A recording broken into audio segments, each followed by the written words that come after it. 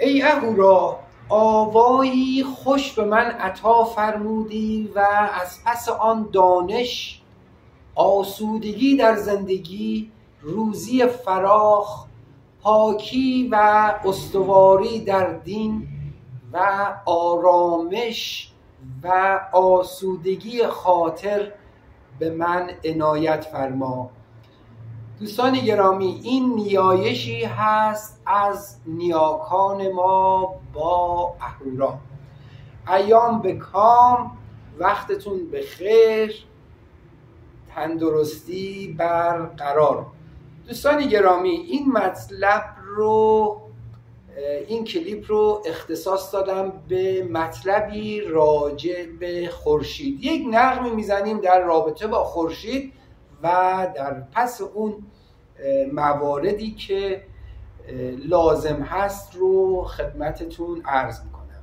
همونطور که می‌دونید خورشید یکی از ستاره های کهکشان راه شیری هست. یک کره کامل از جنس پلاسمای داغ داغ داغ و سرچشمه اصلی نور زمین و دارای انرژی و گرما و به نوعی زندگی همه موجودات روی زمین به خورشید وابسته است. 109 برابر بزرگتر از کره زمین. مصریان باستان خورشید رو خدا می‌دونستند. یونانیان به خورشید کبریا می‌گفتند و ایرانیان به خورشید ایزد می‌گفتند. امپراتوران ژاپن از قدیم تا الان تمام فرزندان بزرگ امپراتوران امپراتورهای ژاپن نام فرزندان بزرگشون خورشید خدمتون عرض بشه که حالا ما اگر یک خورشید رو در روی یک صخره ببینیم و این خورشید با ظرافت حکاکی شده باشه بسیار زیبا و ظریف.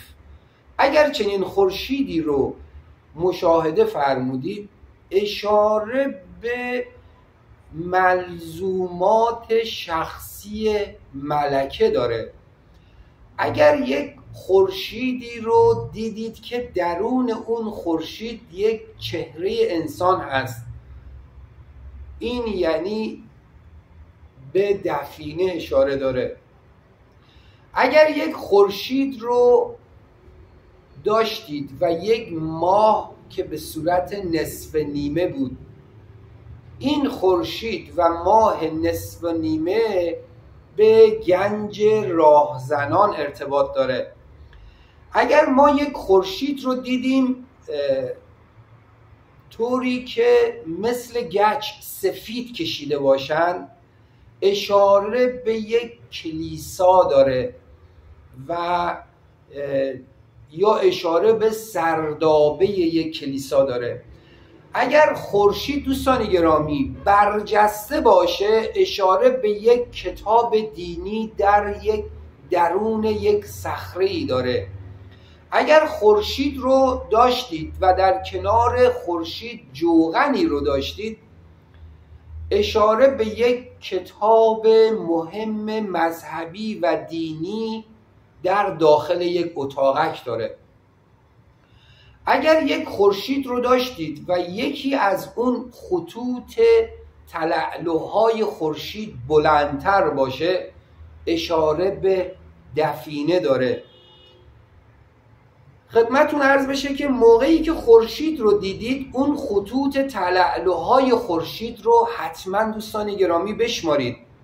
وقتی اون رو اون پرتوهای خورشید رو شمردید در سمت غرب یعنی طلوع نه در سمت غروب شما به دنبال یک چیز مشکوک باشید. حالا اون مورد مشکوک می‌تونه یک صخره باشه که اون صخره رو معمولا با یک سنگ درب صخره رو مسدود کردن. یا به دنبال یک تپهی باشید یا به دنبال یک سنگچینی باشید که حکایت از یک قبر داره. دوستان گرامی اگر خورشید با ماه و ستاره بود خورشید با ماه و ستاره در شمال شرق اون خورشید با ماه و ستاره به دنبال یک نماد دوم باشید. اگر خورشید به صورت نصفه باشه خورشید به صورت نصف باشه داخل یک قبر شما یک کتاب مذهبی ارزشمندی رو خواهید داشت و همینطور می‌تونه یک تاجی باشه درون یک قبر که در ورودی اون با یک سنگ مسدود هست. خدمتون عرض بشه که در غروب خورشید معمولا به دنبال یک قار مسدود شده باشید و اما اگر خورشیدی رو دیدید که با حیوان یا با عکس یک انسان بر روی یک صخره حکاکی شده باشه در قسمت طلوع آفتاب به دنبال یک قار یا یک تونل مسدودی باشید. ممنونم از همه شما دوستان گرامی. نمی‌خوام خیلی وارد جزئیات بشم. کلیات رو عرض کردم و با همین کلیات دوستان گرامی دقت رو دقت کافی رو داشته باشید که خورشید در روی صخره یا در جایی که در روی سنگ حکاکی شده حتما بایستی در مکان نامی باشه. تمام نمادها و نشانه هایی که عرض می‌کنم خدمتتون حتما باید در مکان نامی باشه. اگر مکان نامی نبود دوستان گرامی هیچ وقت به دنبال اگر نماد دیدید نشانه ای رو دیدید مکان نامی نبود مکان رو ترک بکنید. در مکانهای غیر نامی مکانهایی که نامی نیستند به هیچ عنوان وقت نذارید. ممنونم از همه شما. رضا ابراهیمی هستم. مثل همیشه دعای همیشه امضای خدا پای تمام آرزوها و رویاهای شما خوبان که امسال تحقق خواهد یافت. حق نگهدار.